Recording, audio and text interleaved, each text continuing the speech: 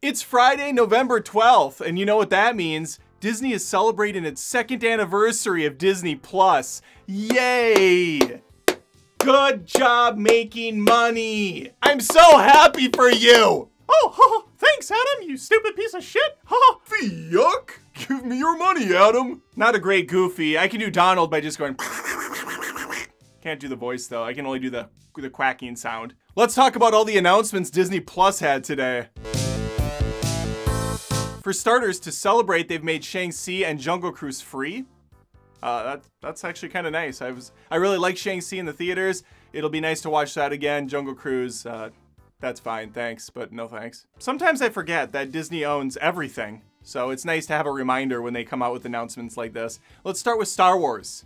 The prequel fans are eating good today. We got some more news on the Kenobi show coming out. Uh, Hayden Christensen sounds like he's back. He's training. He's ready to do that epic duel of fates again. No trailer, but they showed a stunning render, and that was enough for a lot of people.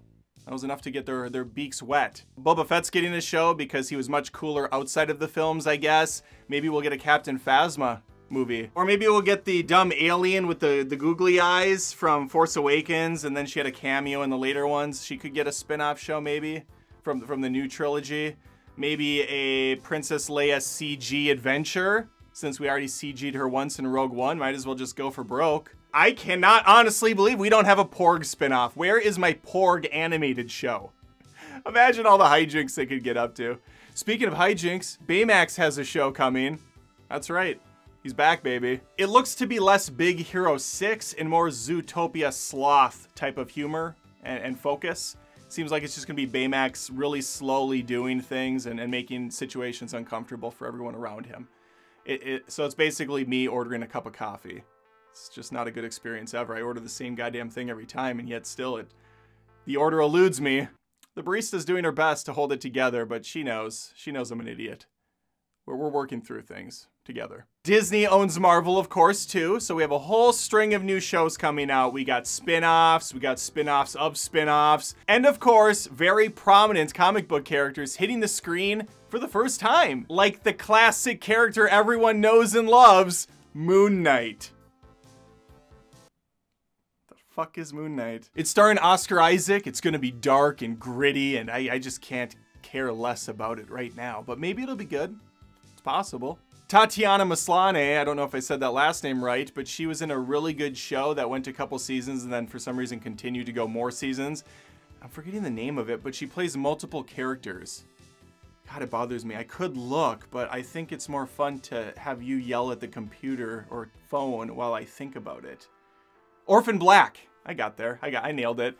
She's the incredible She-Hulk. Um, there's a trailer for it. It looks a little little campy on purpose, so I guess that's good. Maybe, I don't know. Mark Ruffalo is also back as a mentor and once again playing that iconic, disappointing Hulk that we've grown to hate from the MCU. This could go either way for me. I really like the actress, but uh, it, we need to see more here. Captain Marvel Stan, Miss Marvel, gets her show. I played that crappy ass Avengers game that for some reason continues to thrive or exist. I, I shouldn't say thrive. I can't imagine they're making money. Spider-Man DLC coming soon for PlayStation members, which I am, and I don't even want it. I don't even want it. And I don't know if I want this. Uh, her character in the video game was fine, though. The WandaVision villain gets a spin-off show called Hagatha and the House of Harkness. Cool. Everyone's new favorite character, Echo, gets a spin-off show from Hawkeye. Remember Hawkeye, the show that hasn't even come out yet? She's getting the show. She earned it. We love her. There's a bunch of animated stuff coming out too. Spider-Man gets a new show. X-Men gets a new show based on the 1997 hit animated series that went five seasons. Uh, whoa, wait, what? What? Fangasm! Ah! I was there, folks. I was at ground zero on X-Men the animated series. I was dragged against my will to church on Sundays when I wanted to stay home and watch the goddamn show. I lived through this hellscape that was Sunday morning cartoons when you could only watch one episode a week, and Fox decided they deemed what was worthy of you to, to bear witness to. Whether it was a rerun or whether it was an out of order episode. We didn't have the option to stream at the time. We didn't even have the option to buy the damn thing on, on VHS until much later. And even then, it was like four episodes and a stick of gum if you were lucky It was a depressing time to be alive when it came to TV. But also glorious at the same time because we got X-Men the Animated Series. And upon rewatching like a year or so back with my son, it doesn't hold up. It doesn't hold up at all for me. He liked it though. Until season 5 hit, and then the quality dipped a substantial amount to the point of depressing. He couldn't even finish it. I don't even think the people that wrote the show or, or were animating it liked it at that point. Uh, I'm pretty sure that's the case. This will be a return to form, though, is what they're saying. You got the original voice actors coming back, the original showrunners. It's got potential. Short for potential, it's got potential. We'll see how it goes. What if season two is coming? And as I was watching some of season one, I kept asking myself, what if Disney made a good show? Based on this property because what I was watching was not compelling, it wasn't interesting, and I didn't finish. The Doctor Strange episode was good. I hit the zombie one and I was like, eh, this is it. Oh, there's also a zombie show coming. Uh, it's a good segue there. There's a bunch of other crap I wasn't interested in. Don't even want to repeat it. But uh, we have a Willow show. We got Willow coming back, TV series based on the hit movie from the uh, late 80s, early 90s, I think. Uh, Warwick is going to be in it again. There's also the Guardians of the Galaxy holiday special that I feel like was supposed to come out 17 years ago. I've heard about it so much. That should be coming hopefully soon in time for the holidays. Speaking of holidays, I recently watched the new Home Alone Disney Plus extravaganza. I fucking hated it. That review's coming soon, so subscribe if you haven't. There's a lot of content coming. Love them or hate them, Cars is back. They have a new On the Road show.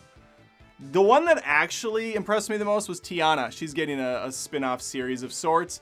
And I will say, Princess and the Frog, not my favorite. Not bad though, I kind of enjoy it.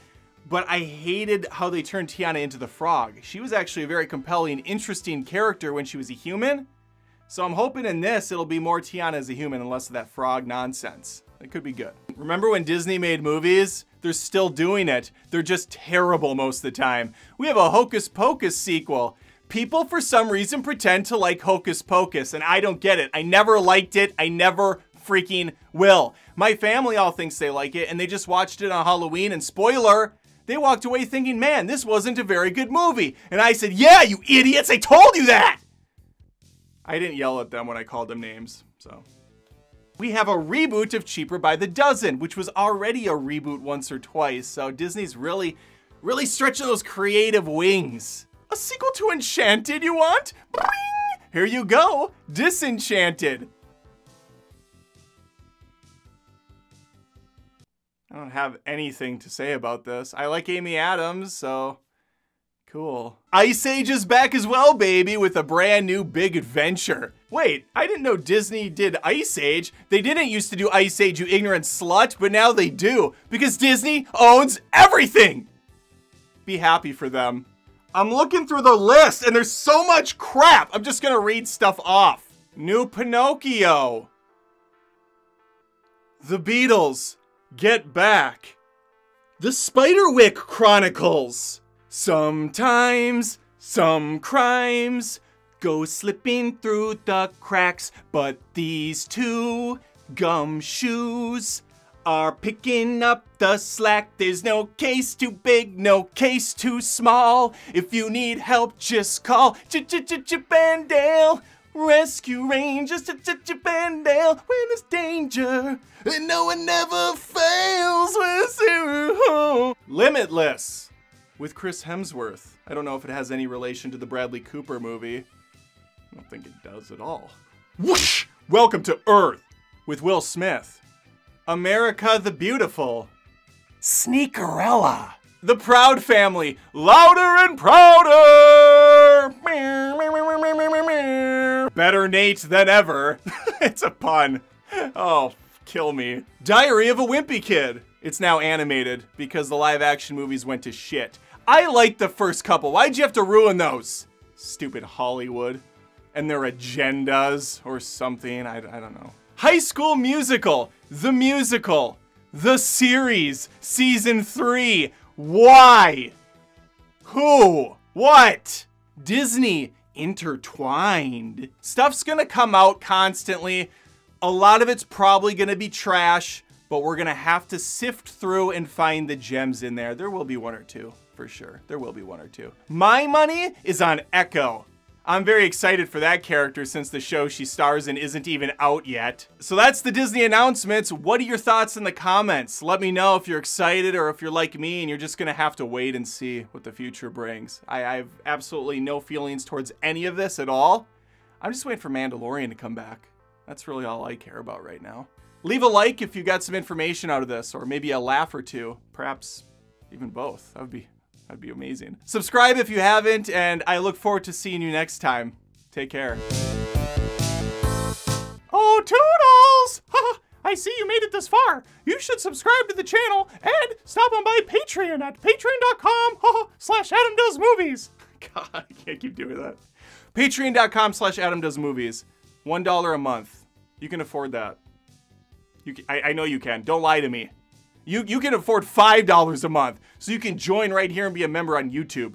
You son of a... No? No? You, it's not your fault. You didn't know. You didn't know. But you do now. So I, I expect you to, to sign up. Thanks.